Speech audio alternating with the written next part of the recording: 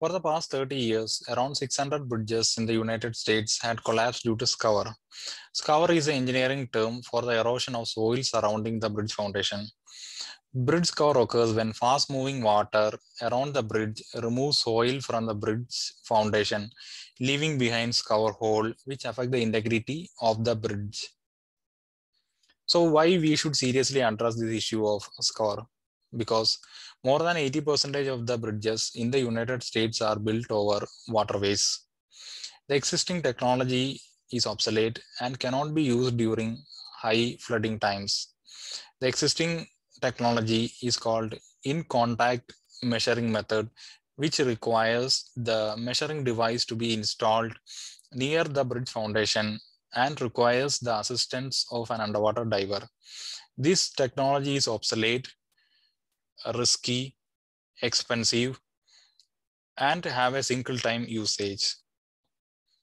My research involves the usage of green laser, which can be shot from a fixed station on land or from a mobile platform like drone, ship, or boom crane. Initially, the experiments were started in a 10 feet diameter giant pool with a prefabricated scour hole.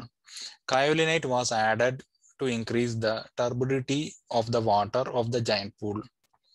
Green laser was shot from the scan station and the scour hole dimensions were retrieved after refraction correction. Kaolinite was added to the water until the scour hole became invisible. As the turbidity of the water was increased by adding kaolinite, the absolute error of measured scour profile also increased. Based on the laboratory experiments, this methodology was successfully used for scour monitoring of a railroad bridge in Miami and a highway bridge in Little Lake Worth. The method of scour monitoring using green laser can be used for other areas like detection of underwater objects, bathymetry profiling, etc. Thank you.